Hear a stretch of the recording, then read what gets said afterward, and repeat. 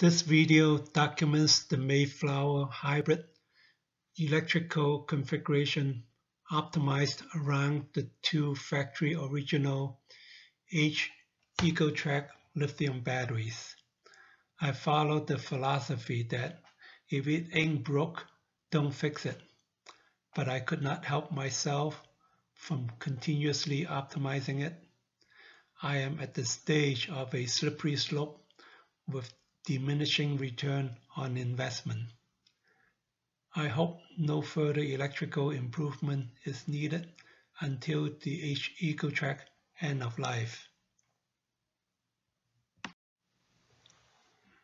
Not too long ago, I wired Mayflower to the ideal configuration, which means all chargers are on the charge side and all loads on the discharge side.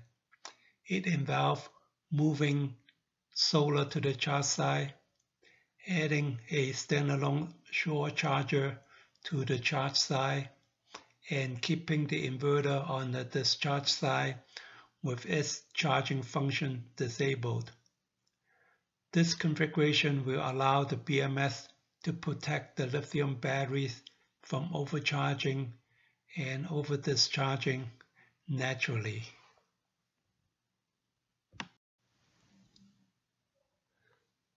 But there are still drawbacks. It is probably better to show the drawbacks graphically on the next page. First, backdoor overcharging risk for charging both H Ecotreks simultaneously.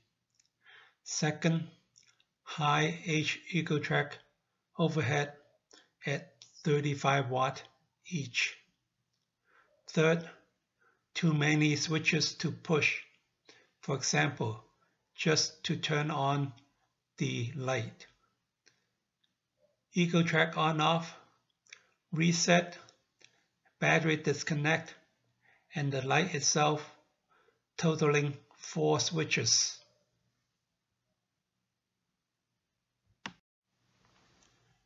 Backdoor charging has been discussed extensively and I created a video on that already. It is not a problem when charging one Ecotrek at a time. Charging two Ecotreks together is possible without pressing reset, which keeps the discharge contactors disengaged, hence no backdoor. Since the discharge contactors are not energized, a 28 watt overhead reduction from both Ecotreks is realized.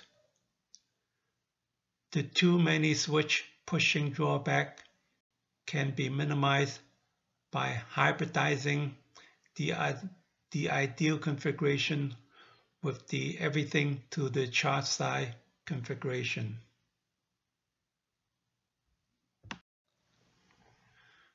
The trick is to partition a set of critical loads to the charge side.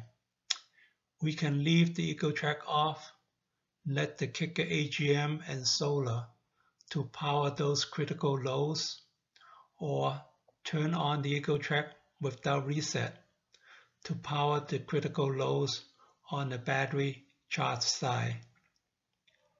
Two three-way switches are installed to revert the critical loads back to the ideal configuration if desired. Graphically, this is what the hybrid configuration looks like, with only one three-way switch shown. Not only is a critical load can be turned on by a single on-off switch instead of four, the H Ecotrek overhead is completely avoided.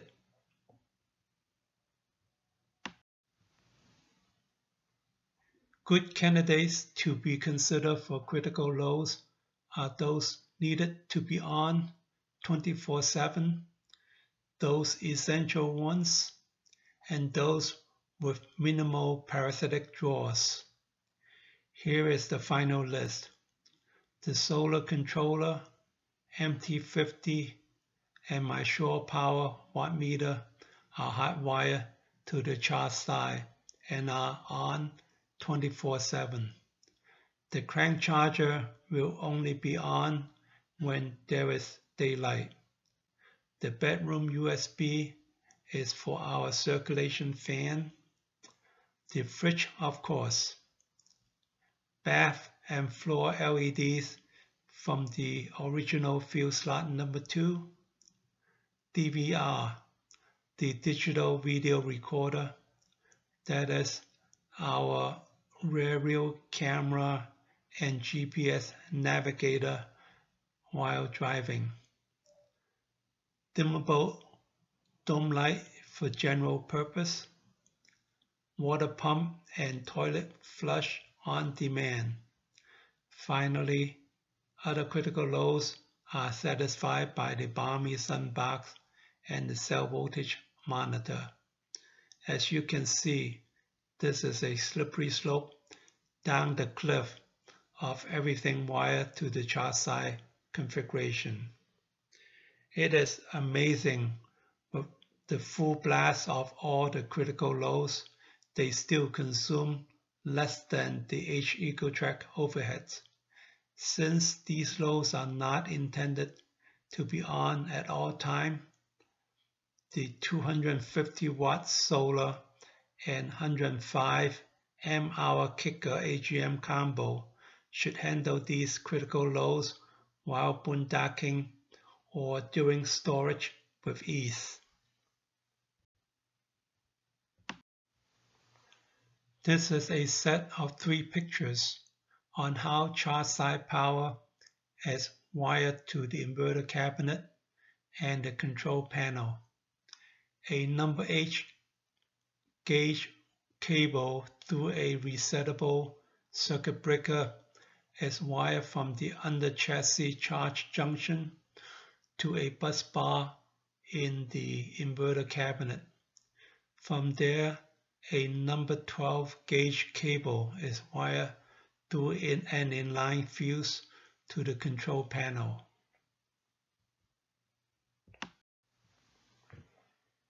Here are the devices involved.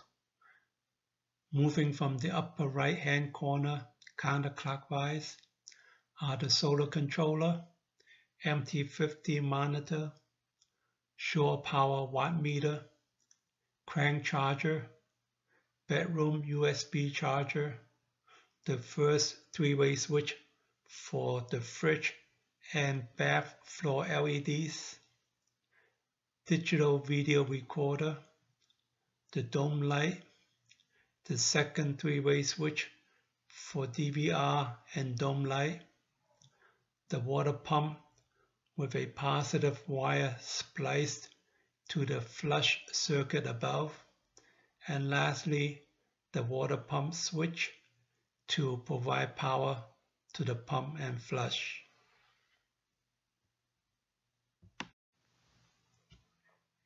In closing, we selected the critical loads for lights, fridge, plumbing, DVR, phone computer, and chassis battery for one switch operation without Ecotrek overhead. I look forward that our H Ecotrek will last a long time. If not, the labor of love continues. Cheers!